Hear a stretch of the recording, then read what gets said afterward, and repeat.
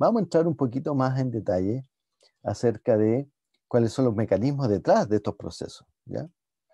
Así que, eh, y nos vamos a centrar particularmente en el mecanismo de, proliferación. ¿Cómo es que una célula con una cierta mutación eh, se empieza a reproducir de manera no controlada?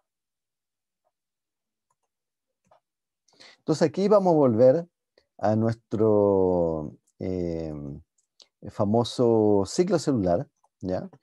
en que tenemos que la, la célula está en una fase, digamos, eh, eh, que están haciendo sus cosas eh, normales como célula, pero sin crecer, pero cuando les toca hacer mitosis, entran en, esta serie de etapas que se llama de ciclo celular, donde hay una etapa de crecimiento, de preparación, para entrar a la síntesis de material genético y de otras proteínas para prepararse al ciclo celular donde hay eh, duplicación del material genético, como se ve ahí en rojito, eh, duplicación de material genético, y después una fase previa a la mitosis, donde eh, se pueden generar dos tipos de células, o sea, dos células idénticas a la original.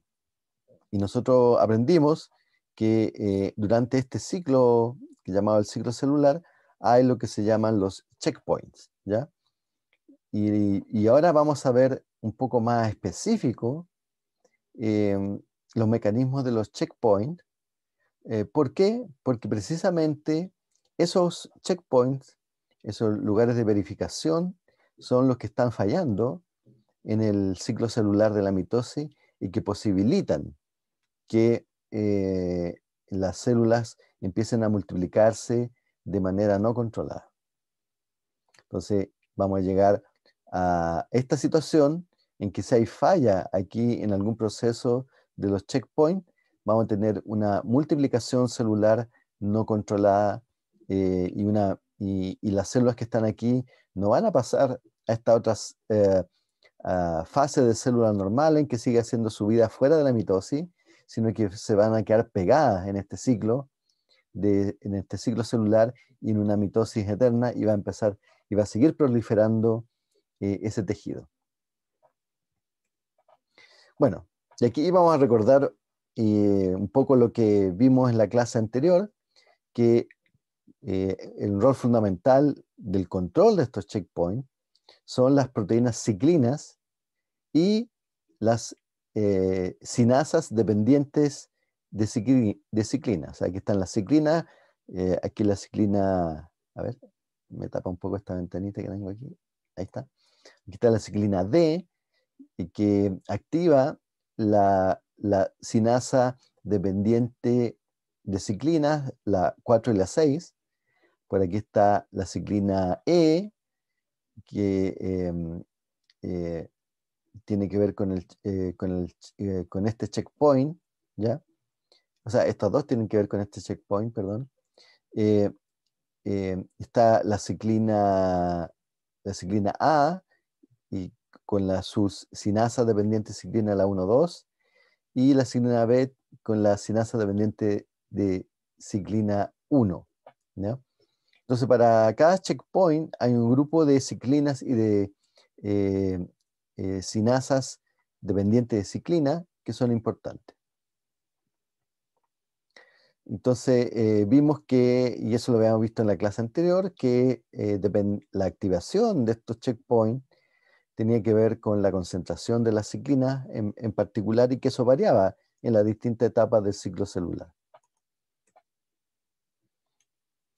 Y también dijimos que, en lo que acabo de decir, que las sinasas dependientes de ciclina dependen de la concentración de esta ciclina.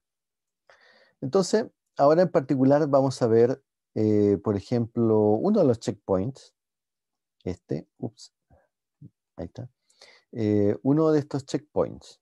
Entonces, a ver. Claro, vamos a ver la ciclina D y la ciclina, la sinasa dependiente ciclina 4,6. Bueno, ¿cuál es, eh, ¿qué es lo que hace esto? Al aumentar la ciclina D, activa esta, eh, esta sinasa que recordemos que en el mundo de la biología celular las fosforilaciones son una señal muy importante para activar o desactivar vías. Y lo que hace esta sinasa en particular, acá hay un complejo eh, que se llama el complejo E2FRB, que RB es la, el gen de eh, supresor, el, el, gen retinoblastoma supresor de tumores, ¿ya? Y el EF2 es un factor de transcripción. Recordemos que los factores de transcripción son eh, eh, proteínas que son necesarias para que ocurra la transcripción génica, es decir, la transformación, la, más bien la generación de un, eh, un RNA mensajero que se va a ir después a sintetizar proteínas a partir del ADN. ¿ya? Entonces, como uno aprendió en el colegio, ah, no sé si todavía lo están enseñando así, pero no basta simplemente con la enzima que hace este proceso de transcripción, la RNA eh, polimerasa, sino que se necesita además que esa enzima eh, se forme un complejo de proteínas alrededor de eso, y ese complejo varía dependiendo de la zona que va a ser transcrita del material genético. Y ahí entran, es muy importante que existan estos factores de transcripción. Entonces lo que hace la CDK es fosforilar al, al retinoblastoma, al RB, y eso lo que hace es liberar el factor de transcripción. Es decir, eh, el resultado de toda esta cascada es que eh, se favorece la transcripción, eh, es decir, la síntesis de proteínas. Entonces, aquí un poco más complejo de la caricatura que les mostraba anteriormente. por acá está la, la ciclina, por aquí está la CDK46 y aquí están eh, algunos factores de transcripción como el RB, perdón, el E2F y el MIC, ¿ya? que ya lo, ya lo vamos a ver. Y este esquema en particular, digamos, eh, como lo habíamos visto en, la clase anterior, pueden haber varias vías de activación de la ciclina. Vimos una en particular que era la inhibición por contacto, ¿verdad? En la clase pasada. Bueno, y, este esquema que hay en particular a nivel molecular de las proteínas y factores de transcripción involucrados es eh, un esquema propuesto para eh, el cáncer de eh, mamario. ¿ya? Entonces, en este artículo que, que sale acá, es un artículo que muestra, por ejemplo, eh, el efecto que tiene una droga que de hecho se utiliza para el tratamiento del cáncer mamario, que es palbociclib, ¿ya? y que el nombre ciclib, eh, al tiro evoca el tema de las ciclinas porque, como muestra acá, el palbociclib es un inhibidor de este complejo de las deciclinas. ¿ya? Entonces, obviamente como esta vía tiene que ver con activar la transcripción génica, es decir, aumentar la cantidad de proteínas para el, ciclo celular eh, G1, o sea, para la parte G1 del ciclo celular, ¿ya? la parte de crecimiento, eh, la primera parte de crecimiento, en que necesitamos nuevas proteínas para generar eh, citoplasma y estructuras para prepararnos a la mitosis. Obviamente, eh, si yo tengo una mitosis descontrolada en el caso de un cáncer, y en particular este esquema muestra el cáncer, eh, la vía molecular del cáncer mamario, yo tengo que eh, tratar de inhibir esto. quiero recordar que cuando vimos el, esquemita de, lo, del ciclo celular, habitualmente la gente que dibuja estos mapas que les encanta, yo no soy biólogo molecular, así que no me gusta mucho este esquema, pero la gente que es biólogo molecular le encanta estos esquemas y hay unas ciertas convenciones. Entonces, la convención habitual es que una rayita con un palito significa inhibición. Entonces, por eso dice, eh, en este esquema dice inhibidores de esta parte del proceso de la vía molecular eh, de la ciclina. Y ahí hay uno, por ejemplo, el palbociclib, que es el que está aquí en el frasquito, aquí al lado. Pero como pueden ver, hay otras vías metabólicas, aquí está la vía RAS, que ya la vamos a hablar también, y hay distintos tipos de inhibidores. Ahora, eh, también está, eh, que no es inhibidores, pero eh, es solamente para propósito de explicar este esquema, esta parte que está acá, ¿no? Que quiere decir que son cosas que van a tratar em, a tener efectos sobre este mecanismo, ¿ya?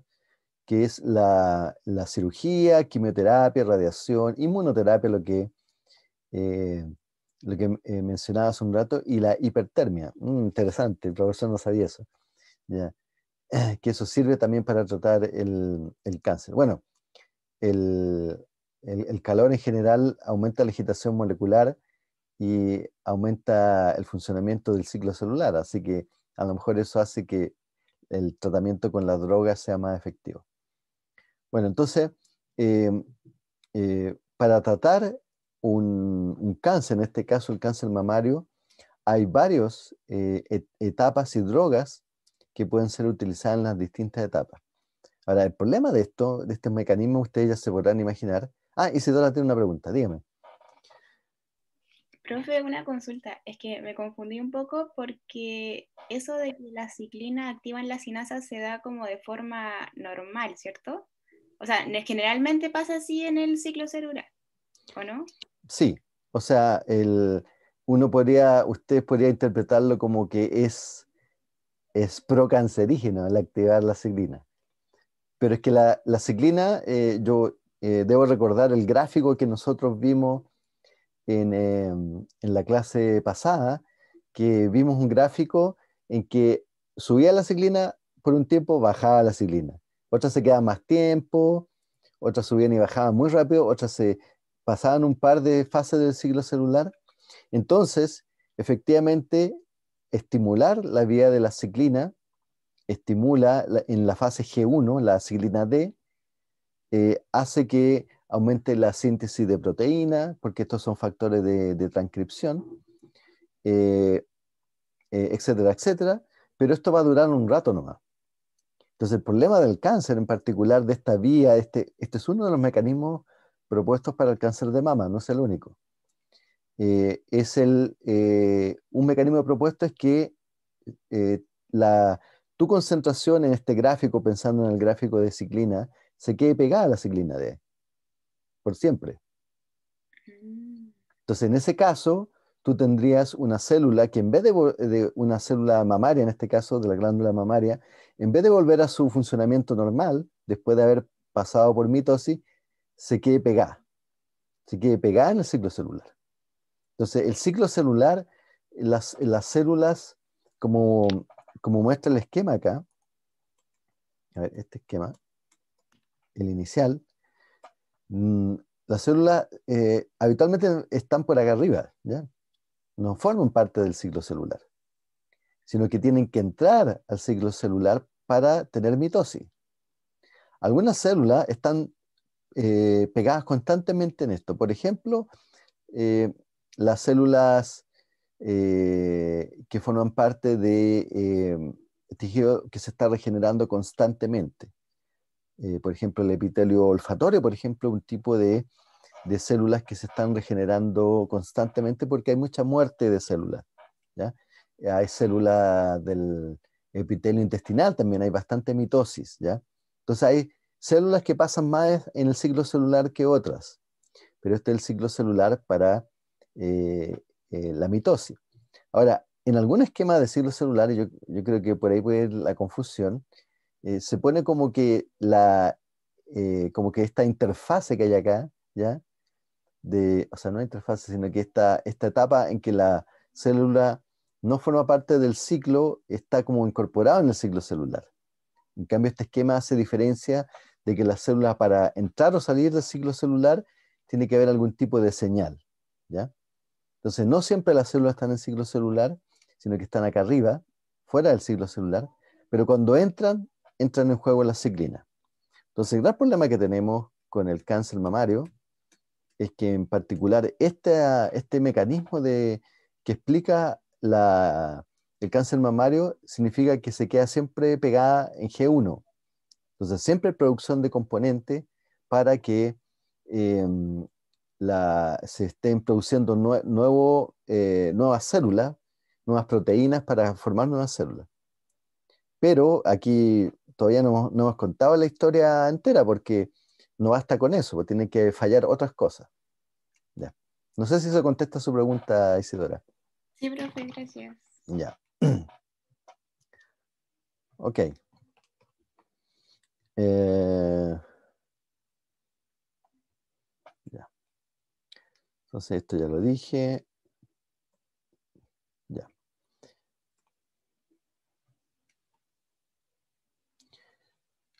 A ver.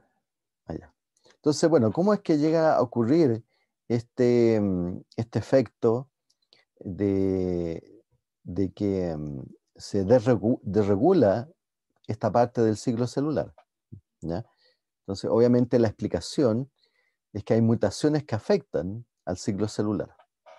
Ahora, eh, recordemos que todas las células tienen material genético, tienen el ADN, y hay distintos tipos de mutaciones que pueden afectar el material genético. Hay mutaciones que, son, que se llaman puntuales, que es una base de este par de bases nitrogenadas que están apareadas, es una base la que cambia. Y eso se le llama eh, en inglés eh, point mutation o mutaciones puntuales. Hay otra tipo de mutaciones que se llaman amplificación de ADN, que es que un segmento del ADN es copiado y repetido varias veces. ¿Ya?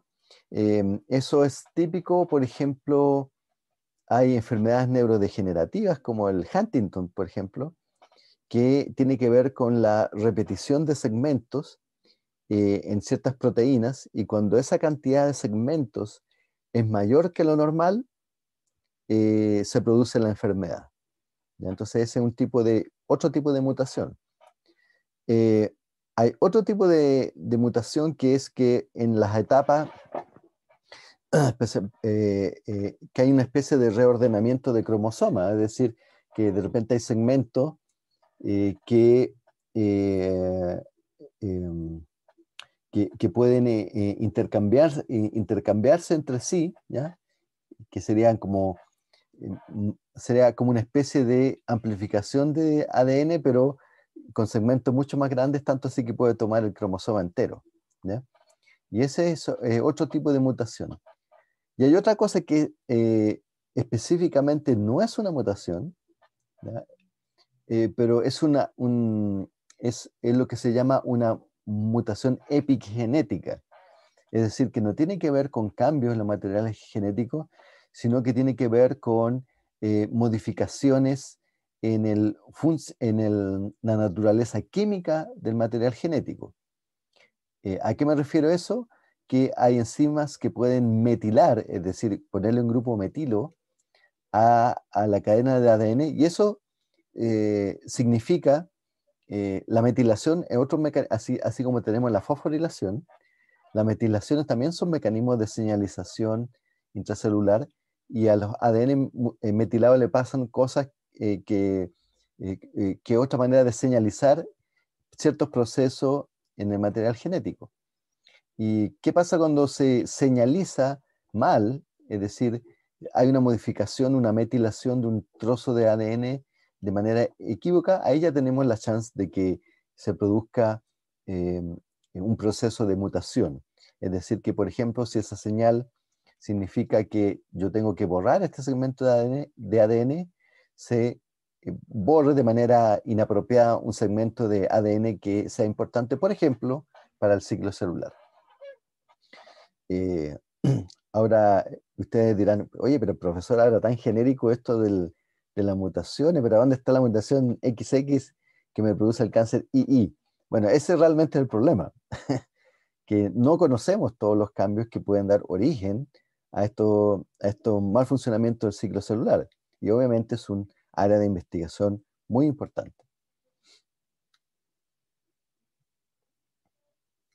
Bueno, entonces, eh, eh, dentro de las mutaciones en general, podemos clasificarla en dos grandes grupos.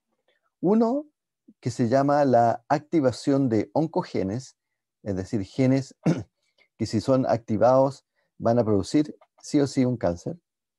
Y otro es la que es como el antagonista, es la inactivación de genes supresores de tumores. Entonces, esos son como los, los dos grandes tipos de mutaciones que pueden ocurrir.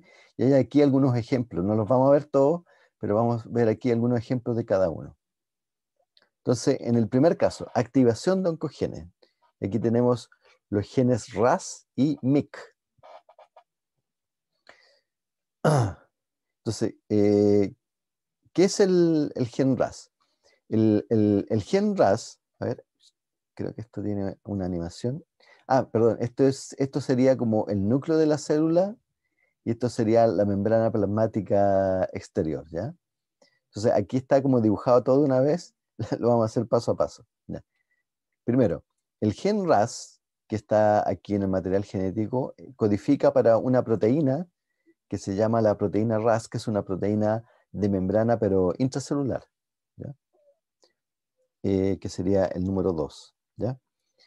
Eh, el, gen RAS, o sea, perdón, la proteína RAS es activada por, eh, la proteína RAS es un tipo de sinasa, ¿ya? que fosforila, es activada por un, su funcionamiento por un receptor que se llama el receptor de factores de crecimiento.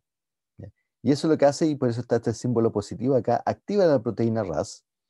Y la proteína RAS, a ver, ahí está, lo que hace es eh, activar factores de transcripción de otras proteínas. ¿ya? Y como habíamos, y, por eso está el P de fósforo, que quiere decir fosforilación, fosforila otros factores de transcripción a nivel del núcleo, ¿ya? Y eh, genera una, una, serie de fosforilaciones que van a terminar finalmente en, la fosforilación de un, eh, factor de transcripción. Y, eso, eh, y, ese factor de transcripción lo que va a hacer, va a ser, eh, como ustedes ya pueden pensar, producir proteínas que son las proteínas para producir ciclinas y CDKs. Entonces, a estos que son genes normales, en realidad se les llama oncogenes porque la desregulación de esto genera un cáncer. A ver, se me perdió. Allá. Entonces, em, la activación de esta vía va a generar eh, la, de la, producción de proteínas que, eh, eh, que son las ciclinas y las CDK, que son importantes para que la célula entre en la fase, pase de la fase G1 a la fase S. ¿ya? Entonces, ¿qué pasa cuando tenemos una mutación? ¿Ya? Es decir, un cambio en material genético eh, en la secuencia genética del gen RAS. Entonces, lo que suele pasar eh, es que para que esto se, digamos, se convierta en un cáncer, es que esto lo que va a generar es una hiperfosforilación de esta vía, es decir, una desregulación y una mayor producción al final de toda esta larga cascada intracelular de ciclinas y CDKs. ¿ya? Entonces, una mutación particular del gen RAS eh, produce una variedad de RAS que lo que hace es mantener activo esto, independiente del factor de crecimiento, eh, esta vía. Entonces se va a producir más ciclinas y más CDK y va a haber, mayor producción de eh, proteínas. ¿ya? El, otro, el otro tipo de mutación es, o, perdón, oncogen, ¿ya? Es el gen MIC, que el MIC es otra vía que tiene que ver con, y aquí no vamos a ver el detalle, que es, tienen que ver con el crecimiento celular, la sobrevivencia y la actividad celular. Y mutaciones de este gen también lo llevan a una versión como descontrolada de este gen, que es un otro factor de transcripción que va a aumentar la producción de proteínas necesarias para que la célula pase de la fase G1 a la S, ¿ya? Y entonces como hay más proteínas disponibles, va a poderse, se va a producir mayor proliferación. Entonces recordemos de la clase anterior que cuando sacábamos aquí eh, de esta bandeja de crecimiento o sea, esta bandeja de laboratorio proteína, eh, una manera de incentivar el crecimiento y la mitosis de esta célula era suministrar lo que se llama factores de crecimiento, que es el esquema eh, que aparece acá, que factor de crecimiento hay un receptor de la célula que incentiva esta vía. Pero entonces cuando se producen mutaciones del gen RAS, eh, esa vía va a estar activada per se. ¿ya? Entonces va, se va a producir una mayor activación de esa vía y no, sin necesidad de que exista el estímulo a ese receptor. Entonces, lo que, el efecto que va, digamos, neto de la activación de estos dos genes, de estos oncogenes, es que se va a pasar por alto el checkpoint G1. Eh, es decir, eh, eh, va a haber una mayor producción más de lo necesario de, proteínas. La otra manera es la inactivación de los genes supresores de tumores. Que las células tienen mecanismos para sacar las células. Imaginemos que ya pasaron el checkpoint 1 y hay algunos mecanismos que no están funcionando bien existen los otros checkpoints. Eh, y hay mecanismos por los cuales eh, las células pueden identificar material genético dañado y sacar esas células fuera del ciclo celular. Es decir, que eh, en el checkpoint G2 está esta flechita acá, que la célula es sacada, si tiene daño en el material genético, es sacada del ciclo celular en el checkpoint G2. Entonces, los, los genes supresores de tumores son los que eh, tienen que ver con detectar esto. Entonces, aquí está una vía que se llama la, vía del, factor de transcripción eh, P53, que lo que eh, hace es aquí como, bueno, esto está traducido literal del inglés, hace un arresto celular. ¿Qué quiere decir eso? Que, eh, y esto es una versión simplificada de, la, de, esto, que una vez que se detecta eh, material genético, hay una producción de este factor de P53. El PC, eh, y el P53, lo que, que es un factor de, transcripción, lo que hace es detener la, transcripción de la proteína P21. ¿ya? Eh, eh, no, perdón, aumentar la transcripción de la proteína P21. Y el P21 es una proteína que es un inhibidor. Es un inhibidor de la CDK1, la CDK12 y por acá me faltó, me lo corté la imagen, en la CDK4-6, que estaba por allá arriba, ¿ya? Eh, y lo que hace es detener el ciclo celular.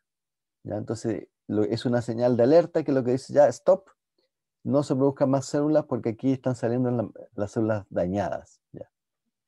Y ese es lo que se llama el arresto celular. ¿ya? O sea, y por eso se le llama genes supresores de tumores, es decir, es una cosa que detiene esto. Adicionalmente, el P53 eh, tiene que ver con incentivar la producción de proteínas que hacen, eh, que están encargadas de eh, la reparación de enzimas que tienen que ver con reparación de, ADN, y también que ese sería otro mecanismo posible de, digamos, de, reparación, o sea, perdón, de, mejorar este proceso. Un, mecanismo es el cell arrest, el, el arresto celular que uh, separa todo ya tranquilo, aquí no ha pasado nada, tenemos todo bajo control. Y lo otro sería reparar ese, daño genético, pero para eso uno necesita enzimas, y que hay enzimas para reparar material genético, y lo que hace el P53 es incentivar la producción de esa enzima. Y la otra opción a nivel celular es que, eh, es decir, bueno, pucha, no, aquí no se puede reparar esta cuestión, entonces la otra producción, el, otro efecto que tiene el P53 es generar proteínas que tienen que ver con la apoptosis, es decir, con lo que se llama la muerte celular eh, programada y lo que se incentiva aquí el suicidio celular. Es decir, esta célula no tiene arreglo, así que activemos el mecanismo de apoptosis por el cual se va a autodestruir la célula.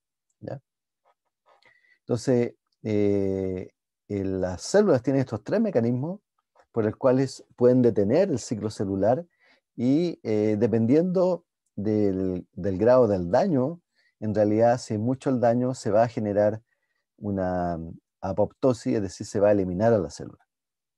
Por eso se le llama al P53 un gen supresor de tumores.